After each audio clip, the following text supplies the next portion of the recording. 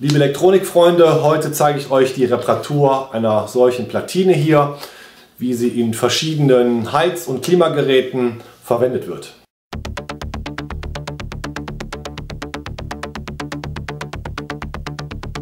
Bei dieser Platine hier handelt es sich um eine Steuerungsplatine einer Heiz- und Klimaanlage der Marke Robin Air. Ähm, diese Platine ist auch in vielen anderen vergleichbaren Geräten äh, eines anderen Herstellers drin. Also wenn euch die Platine hier optisch in etwa gleich auffällig vorkommt, ähm, dann seid ihr bei dem Video hier genau richtig, denn auch die Fehler bei diesen Platinen äh, sind, ich will nicht sagen fast immer die gleichen, aber sehr identisch. Denn hier kommt es häufig zu Ausfällen bei diesen Platinen. Die Anzeige funktioniert nicht richtig, das Ding hängt sich auf, Klimaanlage schaltet nicht ein, Klimaanlage lässt sich nicht bedienen, heizt nur noch, kühlt nur noch. Oder ihr habt eine Fehlermeldung, kann die nämlich hier auch rausgeben. Die Ursache dafür ist eigentlich nach meiner Erfahrung immer die gleiche. Und ich habe von diesen Platinen in den letzten drei, vier Jahren, ich glaube so um die 100, 120 Stück schon repariert. Auch diese baugleichen, die ähnlich aussehen. Da ist nämlich hier an einer Stelle, hier sieht man sehr deutlich, ne, da ist ein Kondensator geplatzt, ein sogenannter Tantalkondensator. Und äh, die werden im Laufe der Jahre anscheinend alt oder trocknen aus oder wie auch immer und dann kommt es zu Fehlfunktionen. Um die Platine wieder zu reparieren, müsst ihr im Prinzip diese Kondensatoren, wo der hier drei Stück von hat, alle drei tauschen. Ich blende euch hier an dieser Stelle mal ein Bild ein, äh, wo ihr diese Platine hier seht. Und da habe ich euch dann die Stellen äh, beschriftet und auch reingeschrieben, welche Werte da reinkommen. Bei diesem Kondensator hier, da ist das so, ich halte mal so ein bisschen die Kamera, ähm, da an der Stelle, wo mein Finger ist, da sieht man natürlich schon ganz deutlich, da ist es so schlimm, der ist schon verbrannt. Die Platine hier ist mit einem Qualmen und Stinken mehr oder weniger ausgefallen und da hat es die Sicherung rausgehauen und dann hat das Ding nicht mehr funktioniert. Wir gehen jetzt hin, tauschen diese Kondensatoren. In der Videobeschreibung hier findet ihr auch die Ersatzteile dazu. Wenn ihr also noch nicht wisst, wo ihr die Dinger herbekommt, könnt ihr da mal reinklicken. Da handelt es sich nämlich hier um solche Elektrolytkondensatoren. Da mache ich jetzt einen anderen Typ rein, den kann man dafür nehmen. Das sind im Prinzip 10 Mikrofarad Kondensatoren und die müssen einfach nur eingelötet werden und dann läuft das Ganze wieder. Heißt also, wir nehmen Lötkolben und wenn man jetzt nicht so gut ausgestattet ist als Hobbybastler, dann kann man auch hingehen, ohne Entlötlitze arbeiten.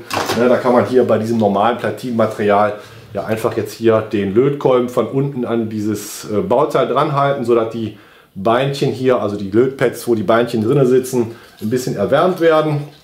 Und dann schmilzt das Lötzinn und dann kann man eigentlich mit einem beherzten Zug, so wie ich das jetzt gemacht habe, hier dieses Bauteil rausholen. Ja, der ist hier geplatzt. Und ich hole jetzt hier die anderen Bauteile auch noch raus und dann machen wir neue rein und dann zeige ich euch auch, dass das Ganze erfolgreich war. Wenn man die neuen einbaut, bitte auch darauf achten, auf der Platine ist eine Markierung. Da steht ja unter anderem dann so ein Buchstabe C22, C26 und da ist an einer Stelle ein Pluszeichen. Heißt also, da muss auch dann der Pluspol von dem neuen Bauteil äh, eingebaut werden. Man kann diese alten defekten Kondensatoren, auch wenn man möchte, gerne mal überprüfen. Das kann man hier mit einem sogenannten Kapazitätsmessgerät machen. Manche Multimeter haben diese Funktion auch integriert. Ich habe hier ein extra Messgerät und das hat hier zwei Anschlussklemmen. Und dann kann man die hier mehr oder weniger direkt an den Kondensator anschließen. Der ist auch mit Plus und Minus beschriftet. Da kann man dann die rote an Plus und die schwarze an Minus von dem Kondensator machen. Und da kann man die hier dranlegen. Und dann sehen wir jetzt hier bei diesem Kondensator, dass der jetzt in Ordnung wäre. Der hat also die erforderlichen 10 Mikrofarad. Ja, jetzt nehme ich mal hier den kaputten Kondensator. Dann schließen wir den mal an. Und da sieht man natürlich ganz deutlich, dass der nur noch 0,5 Mikrofarad hat. Also der ist kaputt und muss getauscht werden. Können wir uns nochmal den dritten hier angucken, den halte ich auch mal dran. Ja, und da sieht man nichts, der ist auch kaputt. Sind also zwei Stück kaputt. Der eine hier ist verbrannt, ja, und der hier, äh, der sieht zwar noch ganz aus, der ist aber kaputt. Führt aber zum Ausfall dieser Platine.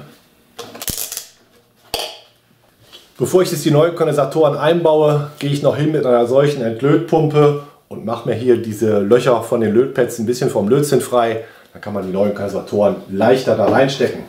Nachdem jetzt die Lötpads vom restlichen Lötzinn befreit sind, nimmt man hier diese neuen Kondensatoren ja, und steckt sie dann natürlich polrichtig hier in die Löcher rein.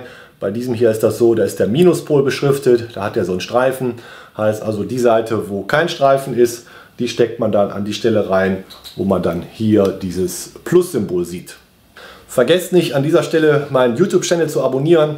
Ich habe hier bereits schon eine Menge Videos zu solchen elektronischen Geräten gemacht. Ich werde demnächst hier an dieser Stelle häufiger mal solche Videos veröffentlichen, wo ich solche Steuerungsplatinen von zum Beispiel Waschmaschinen, Trocknern, Heizungssteueranlagen oder auch von solchen älteren Klimaanlagen, wo man diese Platinen nicht mehr bekommt, reparieren werde. Bei vielen dieser Platinen gibt es nämlich Standardfehler, die man genauso wie hier die Sache mit den Kondensatoren in wenigen Minuten für wenige Cent mehr oder weniger schon reparieren kann. Kondensatoren sind jetzt alle drin und jetzt gehen wir nur noch hin und löten die von der Rückseite fest, kneifen die Rädchen ab und dann sind wir schon fertig.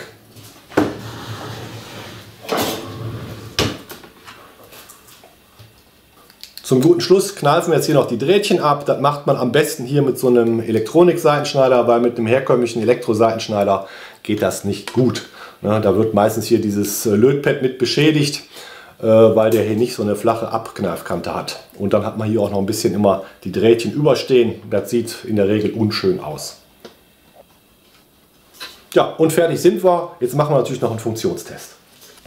Dann schalten wir das Ganze jetzt mal ein und gucken, ob alles wieder funktioniert. Ja, und da sieht man direkt, die Uhrzeit geht an. Und da sieht man jetzt hier ein Programm, was der aufruft. Ja, also die Platine, die ist hier auf jeden Fall wieder in Funktion. So einfach und so schnell ist der Fehler repariert. Die Bauteile kosten weniger als ein Euro und die Arbeitszeit ist, ich sage jetzt mal, irgendwo 5 bis 10 Minuten, wenn man flott ist. Dann hat man so eine Platine wieder repariert ja, und kann dann natürlich so ein teures äh, Klima- oder Heizungsgerät weil man eigentlich sonst hätte den Schrott schmeißen können, äh, im Prinzip wieder verwenden. Und die ganze Sache, die ist auch dauerhaft und die Kondensatoren, die ich da eingebaut habe, die sind auch von einer etwas besseren Qualität. Heißt also, in meinen Augen wird dieses Ding äh, in unserem Leben nicht mehr kaputt gehen. Leute, ich danke fürs Zuschauen. Äh, schaltet beim nächsten Mal wieder ein hier bei meinem YouTube-Channel. Vergesst nicht mehr einen Daumen hoch zu geben. Ich sage Tschüss, bis zum nächsten Mal.